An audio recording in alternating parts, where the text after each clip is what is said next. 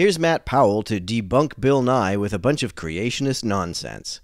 Once in a while, I get people that really, or that claim they don't believe in evolution. And my response generally is, well, why not? Really, why not?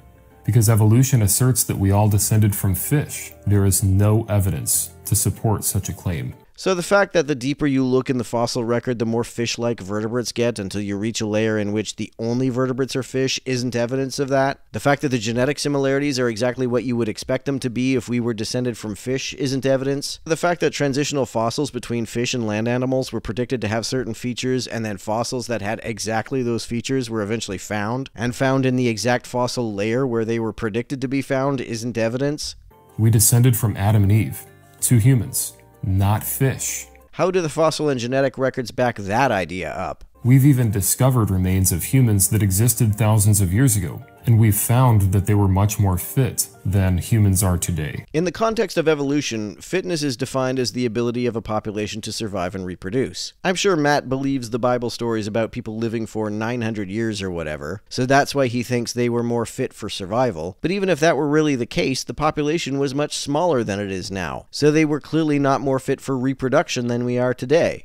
What that means is that we are devolving. We started out with a good set of genetics at the beginning, and we have degraded since. Then why hasn't the population decreased? Even if you think people lived for hundreds of years, a few thousand years ago, for which there's no evidence, why is it that life expectancies have measurably gone up over the last several hundred years? If we are genetically degrading, shouldn't life expectancies be declining and shouldn't the population be shrinking? Your world just becomes fantastically complicated when you don't believe in evolution. What part of believing that we descended from apes makes our worldview less complicated? All of the creationist explanations for the evidence from geology and cosmology for an old universe toss Occam's razor out the window. You have to assume a miracle occurred to explain how the heat generated by geological processes didn't boil off the oceans if they happened in only a few thousand years rather than a few billion. You have to assume either a miracle to explain how it is that we can see light from other stars that are billions of light years away, or you have to assume that somehow light can accelerate past c, despite all of the evidence to the contrary. You have to assume that phenomena like these, which make the universe look like it's billions of years old, are actually just producing an illusion of being that old, instead of the much less complicated explanation that the universe looks old because it is old. Teaching young ones that they evolved from primates will cause confusion in their lives. Well, it certainly will if you imply that humans are not themselves primates. A primate is any organism that is a mammal which can fully rotate its shoulder joints. Kids are definitely going to be confused if you tell them effectively that humans don't produce milk and or we can't rotate our shoulder joints. It makes certain people feel subhuman when you tell them that they're nothing more than an evolved rat. Why would you feel subhuman if you are told that your ancestors evolved into humans? And don't you believe that humans are just dust that God blew into? But telling a child that God loves them and that they were created in His image will help them to thrive and to succeed in life. Don't you also tell them that they are inherently fallen creatures that have to confess their sins to God in order to be forgiven so they don't receive the eternity of torment that they rightly deserve? All right, so now he's going to try to give us some evidence for evolution. And so he's going to rattle off a few things that he considers to be facts. Let's check them out. Let's debunk them one at a time. Here are these ancient dinosaur bones or fossils. Okay, so right off the bat, he mentions dinosaurs. Well, dinosaur fossils actually show us that they died recently because we find dinosaur blood cells that could not have lasted for millions of years. Where do you get the idea that they could not have lasted for millions of years? There are known mechanisms that can, in fact, chemically preserve these tissues for that long. If you put some material that's biodegradable inside of an airtight jar, and then put that airtight jar in another airtight jar and in another airtight jar, it doesn't matter how many times you seal something that's bioorganic. It's still going to degrade, it's still going to deteriorate. That's what we know for a fact. Those are laws of science. Yes, and these tissues have degraded and deteriorated, they just haven't been entirely fossilized. What makes you think that a few thousand years is not enough time to completely fossilize these tissues, but several million years is?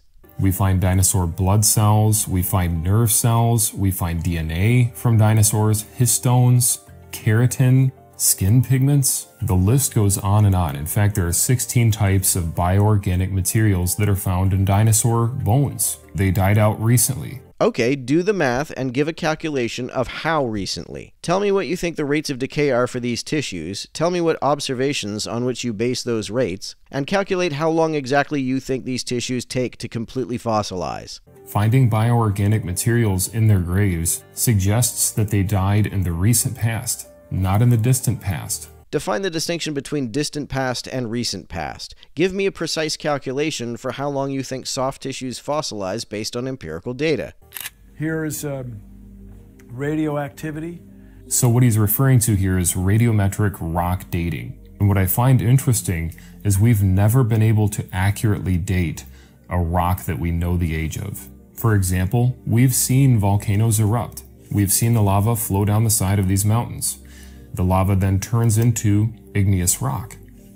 Those rocks are young, but what I find interesting is that when you send in rocks to be radiometrically tested to see how old they are, these labs will send back results indicating that these rocks formed millions of years ago.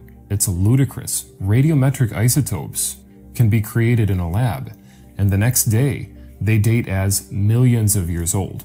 So is radiometric dating reliable? Can it be used to date the age of the Earth?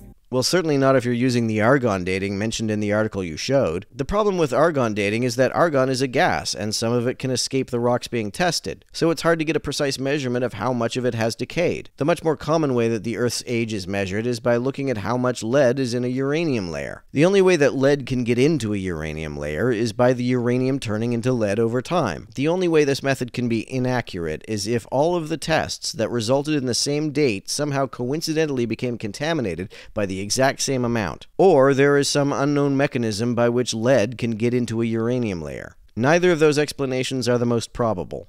Think about that.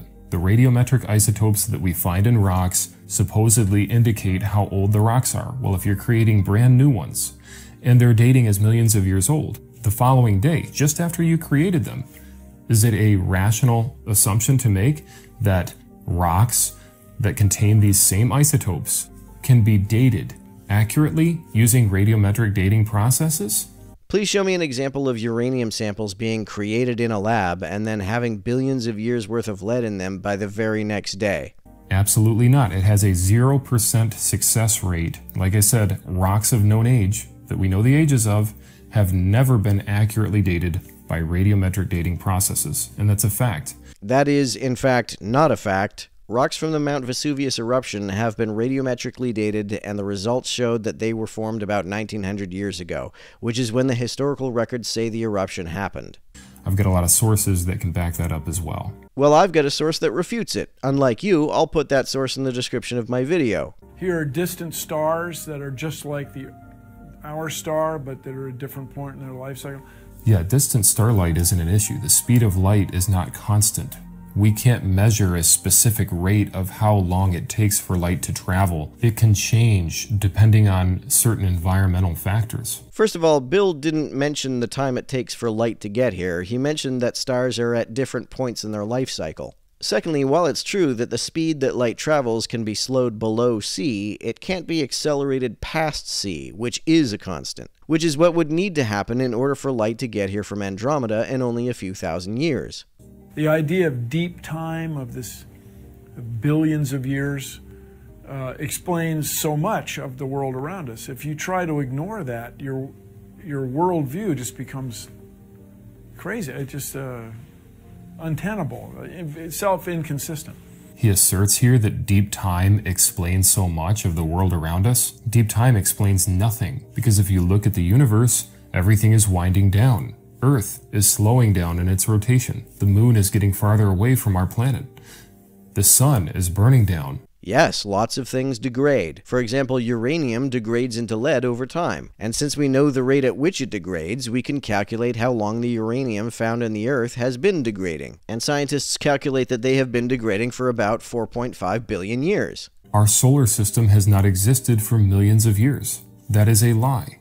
Because we know the rate at which uranium turns into lead, we can tell by looking at the uranium in meteorites that the solar system has also been around for about 4.5 billion years. Deep time does not explain anything.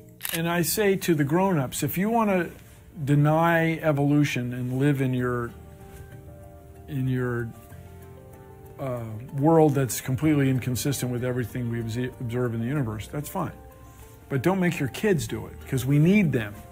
We need scientifically literate voters and taxpayers for the future. We need people that can, uh, we need engineers that can build stuff, solve problems. Well, that I can agree with. We need scientifically literate voters and taxpayers. However, evolution is anti science propaganda. People really think that we're evolving?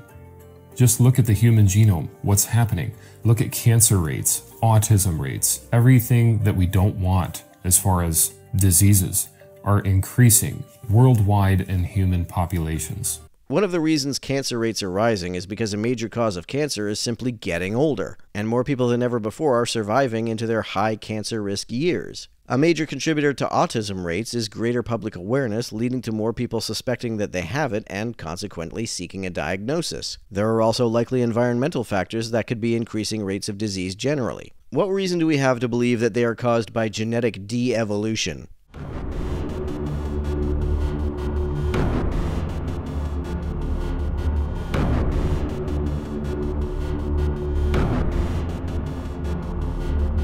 To everyone who helps me out on Patreon, you're a big help. Thanks so much.